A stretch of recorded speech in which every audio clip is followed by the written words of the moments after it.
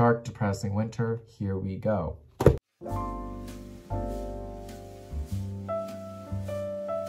DJ Reads.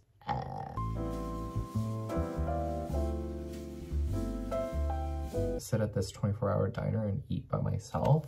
Like have a country fried steak and eggs and maybe a milkshake with a cherry on top that like embodies a Christmas tree. And ho ho ho, happy holidays to me.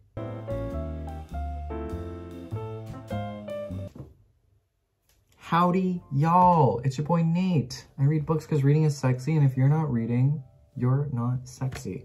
I'm in my, my Sunday hoodie, my Sunday cap because I didn't wash my hair, appropriately lit fic, Sunny's book truck, pick up, pick up some merch. Fun, fun stuff on the shop there. Um, but yeah, okay. Here to do a very ambitious winter reading list. But let me tell you, let me tell you, that for my fall reading list, I read pretty much every single book off that list. I think I did, minus one or two. But for the most part, we did good. We did good. For winter, I'm thinking about wintering.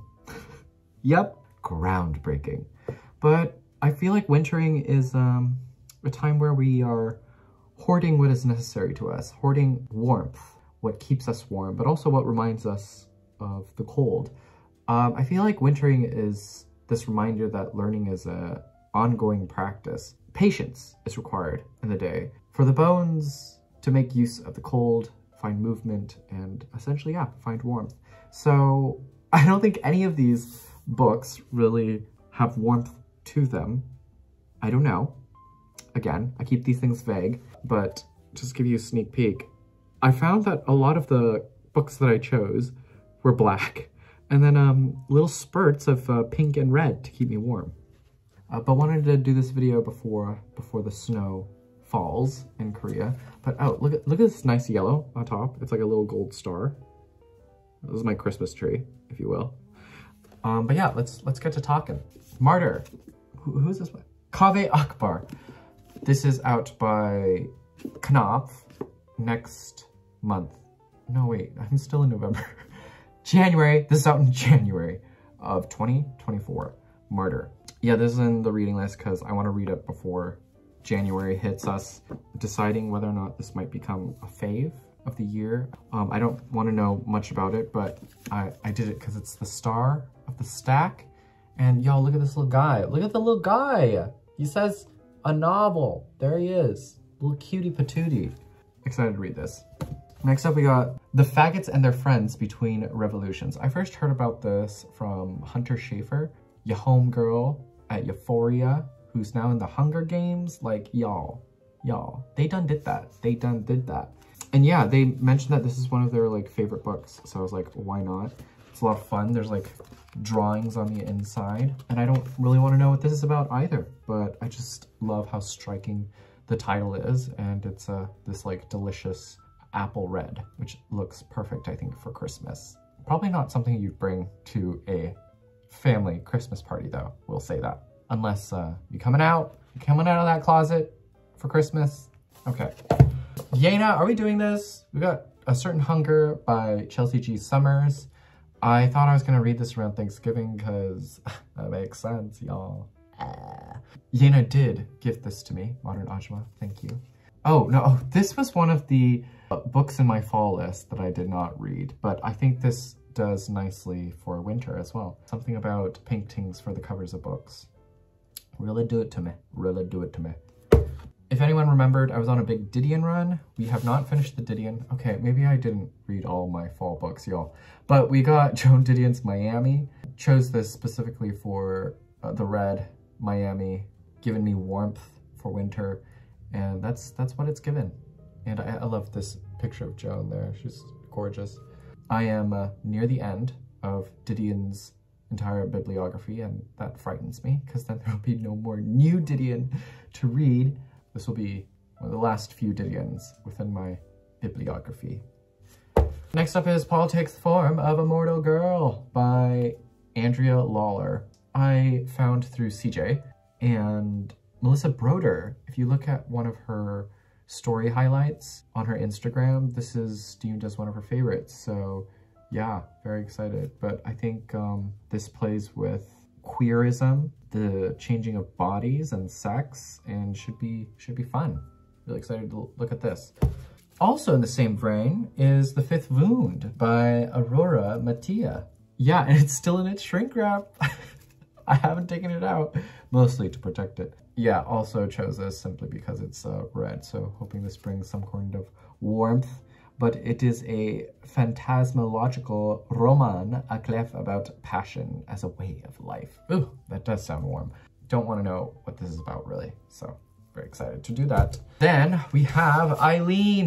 This is my last Moshfegh, y'all. Once I read this, I'll have finished all of Moshfegh's novels slash novellas. Kiran told me I should read this when snow falls because there is snow in the book and um, I'm dying to get to it. I'm dying to get to it because I really want to see the movie. Oof, Eileen. But woman obsesses over another woman. And uh, y'all know what kind of characters she writes, so that should be lots of fun. Okay, this book I found at Target, but never, like I saw it at Target in the $5 bin, you know? You know what I'm talking about? And I want to do it because it seems twee. this is called Last Night at the Lobster. And the whole book takes place at the last night of a Red Lobster. Four days before Christmas, set in a rundown New England mall. Perfect. Perfect for winter, if you ask me. It was a book that like I was always aware about, curious about, and now, now I'm, uh, I'm finally gonna do it. I'm gonna see what all the, the old hoopla was about. I think this was like released in the early 2000s, 2007. Also doing Nightwood by Djuna Barnes. I've wanted to read this also for the longest time, but I wanted to get this specific edition. I found it at uh, one of those like Instagram shops that like curate books and then like makes you pay a ludicrous amount of money for the book. I believe when I saw this on their site, it was like $45, but I found this for like two bucks at one of those like library sales or something. But yes, Djuna Barnes, Nightwood. This is Depressed Woman Moving, but there's an introduction by T.S. Eliot, so that, that's fun. Dark, Depressing Winter, here we go. Also doing John Keene's Punks, a collection of poems. First heard of this when I was with Sophie. I bought this with Sophie at, uh, is it Unnameable Books? Anyway, one of her favorite bookstores in Brooklyn. And she had found out about this book from Matt Sciarappa. So, little cute, little cute booktube, darling, and can't wait to get to it. I don't know, this also screamed winter to me. I don't know why, but I love this cover so much. I love me some good poetry for winter. Yum, yum, yum. Next up we have Hurricane Season.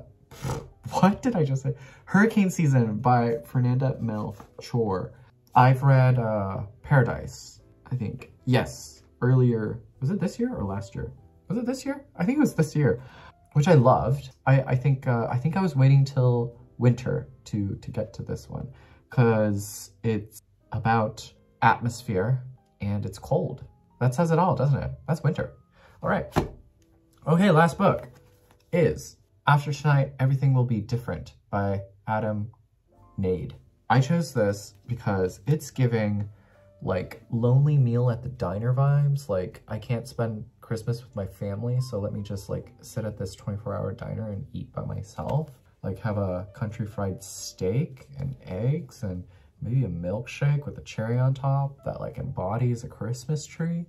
And ho ho ho, happy holidays to me. Yeah, that's that's what this is giving to me.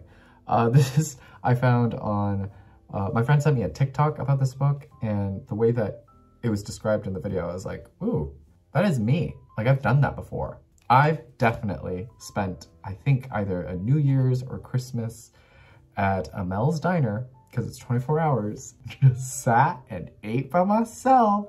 Ho, ho, ho. Happy holidays. Anyway, that's stack, y'all. I think that's like the fastest video I've ever made. What are you reading for winter? Do you got you got a list? I don't know when I'll put this out, but like December's approaching last month of the year. Yeah, what are you what are you sticking in as a last read before we start 2024? Crazy. Can you believe that the year is ending? Wild. There goes another year. Would love to know. Let me know what you're reading for winter. What is a comfort read for you for winter? What books keep you warm? let me know because it can, can it keep me warm too? I want to know. Anyway, as always, be well, do good work, keep in touch.